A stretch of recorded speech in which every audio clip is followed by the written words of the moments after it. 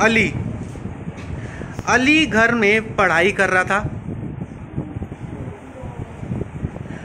तभी उसकी नज़र बाहर नल पर पड़ी।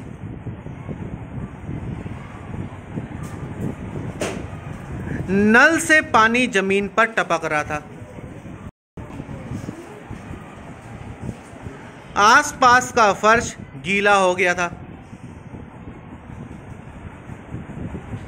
अली ने एक लोटा नल के नीचे रख दिया। अब लोटा नल के नीचे इसलिए रखा कि पानी ना गिर सके, पानी वेस्ट ना हो। पानी अब लोटे में गिरने लगा।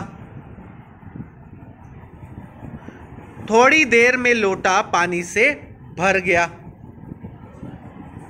अली ने लोटे को पानी जो था उसमें, वो पौधे में डाल दिया। तो इस कहानी से क्या पता लगता है हमें बच्चों?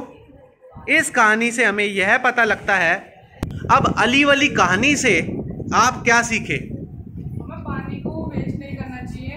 हमें पानी बचाना चाहिए। अगर जहाँ पर भी पानी व्यर्थ हो रहा है हमें उसे बचाना चाहिए ताकि जिससे हमारे देश में पानी की कमी कम हो तो बढ़े कम हो और जिससे हमारे देश के अंदर पानी बढ़े।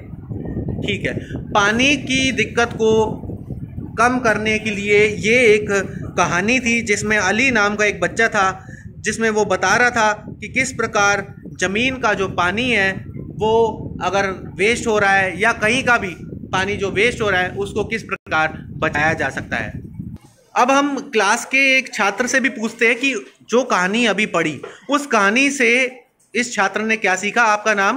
मेरा नाम शिवम मिश्रा शिवम ये बताओ कि अली कहानी से क्या सीखा? हमने अभी कहानी से ये सीखा कि हमें पानी का दुरुपयोग बिल्कुल नहीं करना चाहिए। अगर हमें कहीं पानी व्यर्थ होता दिखाई दे तो हमें उसको तुरंत रोकना चाहिए और हमारे धरती पे पीने योग्य केवल एक परसेंट पानी उपलब्ध है, इसलिए हमें पानी का बहुत कम उपयोग चाहिए ताकि पानी फ्यूचर में हमारे आने वाली पीढ़ियों को भी मिल सके। यानी कि बहुत अच्छा बताया आपने कि बहुत अच्छा इस कहानी से सीखा है आपने। Very good.